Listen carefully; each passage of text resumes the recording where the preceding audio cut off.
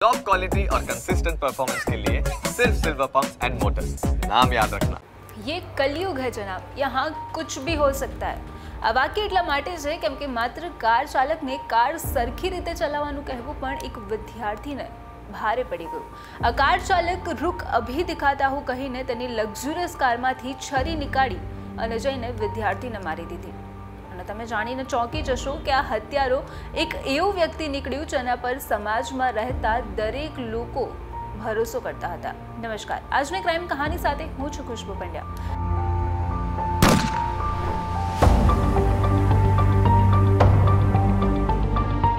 આજકાલ એવી ઘટનાઓ સામે આવી રહી છે જેમાં લોકો નાની નાની વાત પર કોઈની પણ હત્યા કરી દેતા હોય છે. આજે હું જે ઘટનાની વાત કરી રહી છું તે ઘટના ઘટી છે અમદાવાદના બોપલ વિસ્તારમાં. ચાલો જાણીએ કે શું હતી આ ઘટના.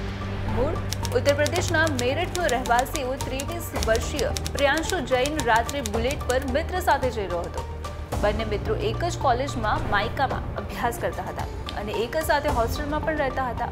એમબીએનું બીજું વર્ષ ચાલી રહ્યું હતું અને કોલેજમાં કેમ્પસ ઇન્ટરવ્યૂ થવાનું હતું. તેથી બંને મિત્રોએ ટેલર પાસે જઈને મસ્ત સૂટ સીવડાવવાનું નક્કી કર્યું. જેથી કરીને તેમની પર્સનાલિટી મસ્ત પડે અને તેઓ ઇન્ટરવ્યૂને સારી રીતે ક્રેક કરી શકે. તેથી બંને મિત્રો તેમના એકબીજા મિત્રનું બુલેટ લઈને આવ્યા અને બોપલ સરકારી ટ્યુબવેલ પાસે આવેલા મારુતિ ટેલરમાં સૂટ સીવડાવવા માટે ગયા. બંને જણા સૂટનું માપ આપીને વકીલ સાહેબ બ્રિજ પાસે નાસ્તો કરવા માટે ઊભા રહ્યા. નાસ્તો પૂરો કરીને તેઓ હોસ્ટેલ જવા નીકળ્યા, પણ વચ્ચે સન સાઉથ સ્ટ્રીટ કોમ્પ્લેક્સ પાસે પહોંચતા જ પ્રિયંશુને સ્વીટ ખાવાની ઈચ્છા થઈ. પણ તેઓને ક્યાં ખ્યાલ હતો કે આ સ્વીટ એમને કેટલી મોંઘી પડવાની હતી? જ્યારે તેઓ ત્યાંથી સ્વીટ લઈને નીકળતા જ હતા કે અચાનક સામેથી એક ગાડી પૂરપાટ ઝડપથી પસાર થઈ. આ જોઈને પ્રિયાંશુએ આ કાર ચાલકને ટકોર કરી કેટલી જોર સે ગાડી ક્યું ચલા રહ્યો? અને બસ, આટલું કહીને તે નીકળી ગયા. પણ પેલો કાર ચાલક તે ગાડીને ટર્ન મારીને પાછો આવ્યો અને પ્રિયાંશુ અને તેના મિત્રનો પીછો કર્યો અને કહ્યું કે, રૂક, ક્યાં બોલા તું? આ સાંભળીને પ્રિયાંશુના મિત્ર પૃથ્વીરાજ તેનું બુલેટ સાઈડમાં ઊભું કરી દીધું અને કાર ચાલક પણ તેની ગાડી સાઈડમાં કરી. બંનેમાંથી કોઈને ખ્યાલ નહોતો કે આનું પરિણામ શું આવવાનું હતું. જો કદાચ તમને આ વાત સિરિયસલી ન લીધી હોત, તો કદાચ તેઓ બચી ગયા હોત. પર કહેતા હે ના કે જવાન લોકો કા ખૂન વૈસે ભી ગરમ હોતા હે? બસ. તેઓ ત્યાં ઊભા રહી ગયા અને પછી કાર ચાલકે કહ્યું, તુમ લોગ રોંગ સાઈડ મેં હો, તો મેં જોરસે નહીં ચલાઉંગા. બસ આટલી વાત. અને પછી આ બબાલ વધી ગઈ. હાથાપાઈ થઈ. અને પછી અચાનક આ કાર ચાલક બોલ્યો કે, રૂક, અભી તુજે દિખાતા હું. અને પછી તે તેની કાર પાસે ગયો અને બે છરી લઈને આવ્યો. અને જોત જોતામાં તેને છરીના ઘા પ્રિયાંશુ પર ઝીંકી દીધા. રાતનો સમય હતો, રસ્તો સુમસામ હતો. તેથી કોઈને ખાસ કંઈ ખ્યાલ ના આવ્યો અને તરત જ કાર ચાલક ત્યાંથી ફરાર થઈ ગયો. પ્રિયાંશુ લોહી લુહાણ હાલતમાં રસ્તા પર જ ઢળી પડ્યો. તેના મિત્ર પૃથ્વીરાજ તેને બચાવવા માટે આજુબાજુ તપાસ કરી. પણ રાતનો સમય હોવાથી કોઈ ના તો મદદે આવ્યું કે ના તો કોઈ ત્યાં ઊભું રહ્યું. પણ થોડા સમય બાદ એક મહિલા તેની બાળકી સાથે ગાડી લઈને આવી અને પ્રિયાંશુને આમ જોતા તેને હોસ્પિટલ સુધી પહોંચાડ્યો. પણ છતાં પ્રિયાંશુ બચી ન શક્યો અને તેનું ત્યાં જ મૃત્યુ થઈ ગયું. આ બધાની વચ્ચે સવાલ એ હતો કે આ વ્યક્તિ હતું કોણ? અને શું ખરેખર કોઈ આટલી વાત માટે કોઈ વ્યક્તિની હત્યા કરી શકે? આ ઘટનાની જાણ પોલીસને થતાં જ પોલીસ ઘટના સ્થળે પહોંચી. તપાસ હાથ ધરી, પૃથ્વીરાજને પૂછપરછ કરી અને એક સ્કેચ તૈયાર કરાવ્યો. પણ શું આ ટેકનોલોજીના જમાનામાં ખરેખર સ્કેચની કોઈ જરૂર હતી? સીસીટીવી પણ ચેક થઈ શક્યા હોત ને? ખેર, પોલીસે તપાસ શરૂ કરી, ત્યારબાદ અનેક સીસીટીવી પણ ચેક કરાયા, પણ કોઈ સુરાગ ન મળ્યું. પછી લોકેશન ટ્રેસ થઈ અને ઘણું બધું. જેમાં લાંબી તપાસ બાદ એક એવું પાસું ખુલ્યું કે આ વ્યક્તિ હત્યા કર્યા બાદ સૌથી પહેલા ગોકુલમાં પોતાની સોસાયટી પાસે ગયો, જ્યાં સીસીટીવી નહોતા.